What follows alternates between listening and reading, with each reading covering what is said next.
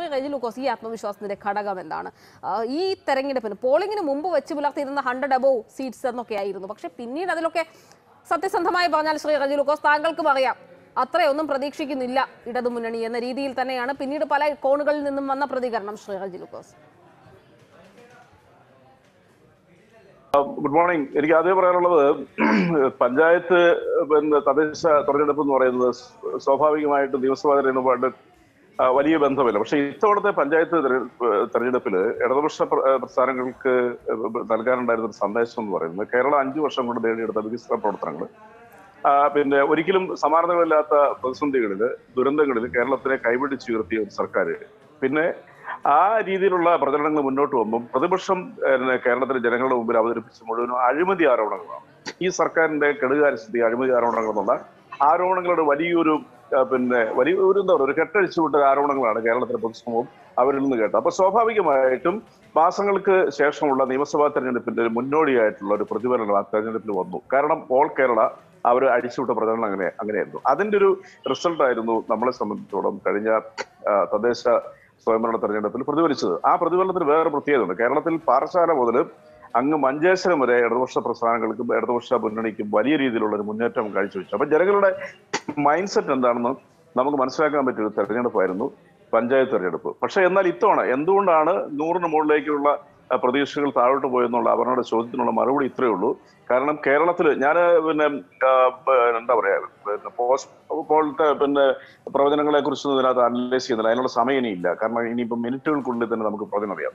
പക്ഷേ കേരളത്തിലെ ജനങ്ങളുടെ ഭാഗത്തുണ്ടായ പ്രതികരണങ്ങൾ എല്ലാ സ്ഥലങ്ങളിലും മാധ്യമങ്ങൾ തന്നെ റിപ്പോർട്ട് ചെയ്ത് ഈ സർക്കാരിനെതിരെ പിന്നെ ഒരു ആന്റി ഇൻകംബൻസി ഫാക്ടർ ഇല്ല എന്നുള്ളതാണ്. അതൊരു വലിയ സംഭവം തന്നെയാണ്. കേരളത്തിൽ ഇന്നുവരെ അങ്ങനെ ഒരു മുന്നണി അഞ്ചു വർഷം തികച്ചിട്ട് ജനങ്ങളെ അഭിമുഖിച്ചിട്ടില്ല അപ്പൊ അതിൽ നിന്ന് മനസ്സിലാക്കുന്നത് എന്താണ്? കേരളത്തിലെ ജനങ്ങൾ ഒരുങ്ങിയിരിക്കുന്ന ഇടതുപക്ഷ മുന്നണിയെ വീണ്ടും അധികാരത്തിലെത്താൻ എന്നുള്ളത് പ്രത്യേകിച്ച് ഈ പ്രതിസന്ധി ഘട്ടത്തിൽ പിന്നെ ഇപ്പോൾ ഞാനിവിടെ അവസാനത്തെ ഭാഗമാണെങ്കിലും ബഹുമാനപ്പെട്ട ഷുക്കൂർ ഇവിടെ പറഞ്ഞൊരു സംഭവമുണ്ട് സംഭവം ആഴക്കടൽ മത്സ്യബന്ധനം കേരളത്തിൽ ഇടതുപക്ഷ മുന്നണിക്ക് വലിയ രീതിയിലുള്ള തിരിച്ചടി ഉണ്ടാവുന്നുള്ളത് അത് വളരെ തെളിഞ്ഞില്ല. അത് ജനാധിപത്യ പ്രക്രിയയെ പോലും തകർക്കത്തക്ക രീതിയിൽ ക്രിയേറ്റ് ചെയ്തൊരു ഗൂഢാലോചനയായിരുന്നു ആഴക്കടൽ മത്സ്യബന്ധനം എന്നുള്ളത്. കഴിഞ്ഞ ദിവസം തന്നെ അത് വളരെ വ്യക്തമായിട്ട് തെളിഞ്ഞു കഴിഞ്ഞു. അത് വോട്ടെടുപ്പിന് ശേഷമാണ് പൂർണമായിട്ട് തെളിഞ്ഞെങ്കിൽ പോലും.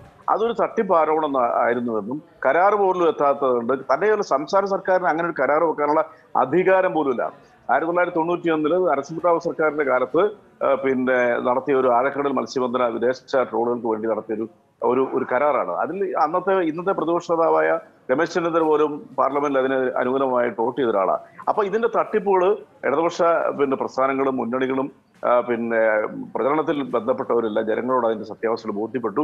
ആഴക്കടൽ മേഖലയിൽ വർക്ക് ചെയ്യുന്ന മത്സ്യത്തൊഴിലാളികൾക്ക് ഈ ആരോപണത്തിന്റെ പിന്നെ എന്താ പറയുക കൃത്രിമത്വം എന്താണെന്ന് വളരെയധികം ബോധ്യപ്പെട്ടു. അപ്പൊ അതുകൊണ്ട് ആ രീതിയിലുള്ള പിന്നെ നേട്ടങ്ങൾ പിന്നെ യു ഡി എഫിന് ഉണ്ടാകാനുള്ള സാധ്യത ഒരു ശതമാനം പോലും ഇല്ല തീരദേശ മേഖലയിൽ ആലപ്പുഴ പോലുള്ള മേഖലകളിൽ പ്രചരണത്തിൽ പോലും പങ്കെടുത്ത ഒരാളാണ് ഞാൻ.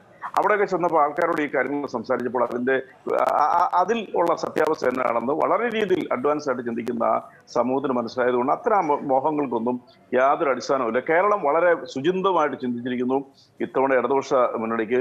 അപർണ പറഞ്ഞ നമ്പറിലേക്ക് കടക്കാനുള്ള സാധ്യതകൾ ഇപ്പൊ ഏറ്റവും ഒടുവിൽ വരുമ്പോൾ ഞങ്ങൾക്ക് പ്രതീക്ഷയുണ്ട്. കാരണം വളരെ രീതിയിൽ അല്ല ദേശീയ മാധ്യമങ്ങൾ പാർലമെന്റ് തെരഞ്ഞെടുപ്പും ഇതേ പ്രതീക്ഷകൾ വെച്ച് പുലർത്തിയിരുന്നു. ശ്രീ റെജു ലോഗോസ് പാർലമെന്റ് തെരഞ്ഞെടുപ്പിലും എക്സിറ്റ് പോൾ ഫലങ്ങളൊക്കെ തന്നെ വലിയ രീതിയിൽ ആവേശം പകരുന്നതായിരുന്നു ഇടതുമുന്നണിയെ സംബന്ധിച്ചിടത്തോളം ഇതേ പ്രതീക്ഷകൾ ഉണ്ടായിരുന്നു.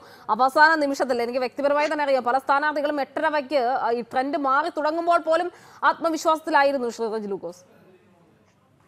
അല്ല പറഞ്ഞ അത് സ്വാഭാവികമായിട്ടും ഒരു തെരഞ്ഞെടുപ്പിനെ നേരിടുമ്പോൾ ഏത് മുന്നണിയായാലും ഏത് സ്ഥാനാർത്ഥിയാണെങ്കിലും വിജയപ്രതീക്ഷ വലിയ രീതിയിൽ തന്നെ പ്രകടിപ്പിക്കും. അത് അവരുടെ ഒരു ശതമാനം പോലും വിജയപ്രതീക്ഷ പ്രകടിപ്പിച്ചില്ലെങ്കിൽ അത് സ്വാഭാവികമായിട്ട് വോട്ടർമാരിലൊരു നിരാശ കൊടുക്കും അപ്പൊ അത്ര റിസ്ക് ഒന്നും ഒരു സ്ഥാനാർത്ഥി ഒരു മുന്നണിയോ ഒരു രാഷ്ട്രീയ കക്ഷിയോ എടുക്കത്തില്ല.